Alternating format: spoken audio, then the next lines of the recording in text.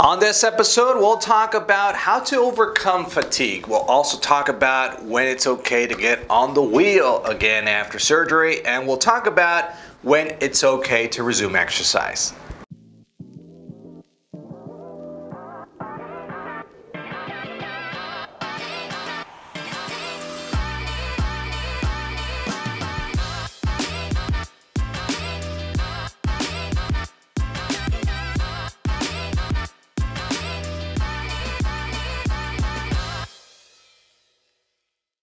Hello everyone, I'm Dr. Alvarez with endobariatric.com and welcome to episode 169 of the Ask Dr. A show. Thanks so much for joining us. Thanks so much for sending us your questions. And remember, there's two ways to send me your questions and add them here to your show, which is using the hashtag Ask Dr. A and through my personal Instagram account. So let's go into the show. Is fatigue normal? Will it ever go away? I am nine months out. All right, so fatigue may be normal, may be expected in the first following first few weeks after surgery.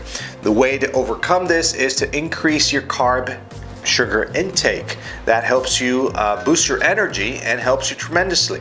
Now, nine months down the road, it's not that quite common.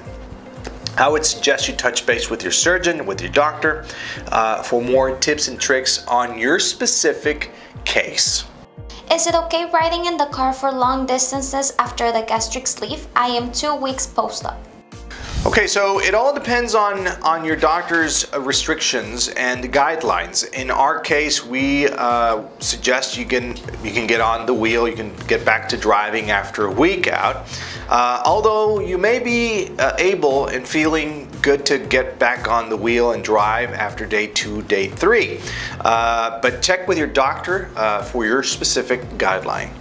When is it okay to resume exercise after the gastric sleeve surgery?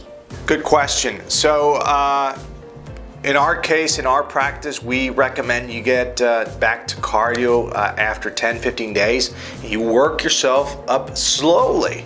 So uh, you can start doing some walking, elliptical machine for 10 minutes or so. And then after a week, you increase that limit, that time limit to uh, five more minutes, that would be 15.